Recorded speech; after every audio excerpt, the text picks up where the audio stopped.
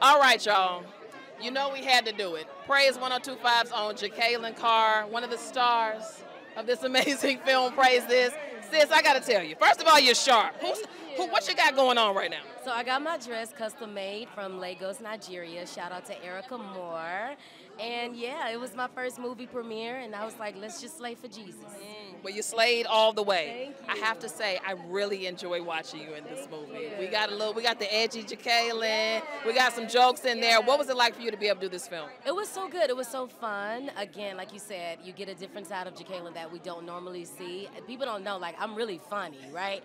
But being able to show that in the movie, it's so great. And then, of course, the cast. Like, we literally became family. Anjelika, Burgundy, all of us. So it was great.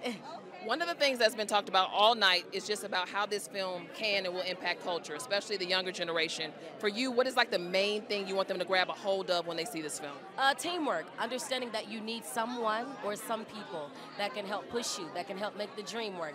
When you see in the movie, you see that it took all of us to come together, you know, to make sure that we won.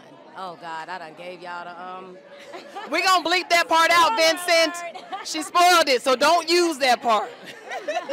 but no, yeah, it takes teamwork, and and eventually we're gonna have to have that person or those people to help further us. Absolutely. Speaking of teamwork, y'all teamed up for some amazing music in this movie. Yeah. What was it like for you to be a part of that? And how cool was it for you to be like, y'all had some remixes going on? You got the hip hop intermingled with some gospel hits. Like, what was that like for you? I, the first thing I had to check the lyrics.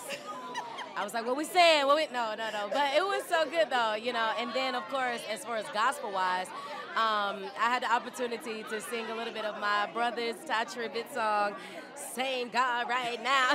no, but it was so fun. Yeah. So, what would you say to sometimes us church folk, we're a little hard on each other.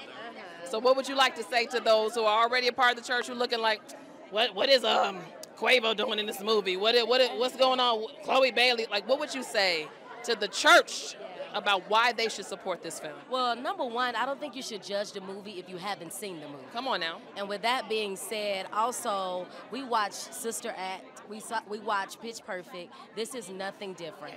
You have your funny moments. You have your serious moments. It's a great movie, inspirational all at the same time. So loosen up a little bit and watch the movie. I'm glad I didn't have to compromise for it, and that's the biggest thing. Like let's have fun. We need a little laughter, especially with everything that's going on.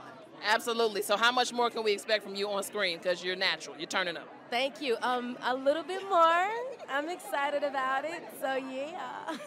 Kaylin, we love you. Congratulations, Thank you. Thank you.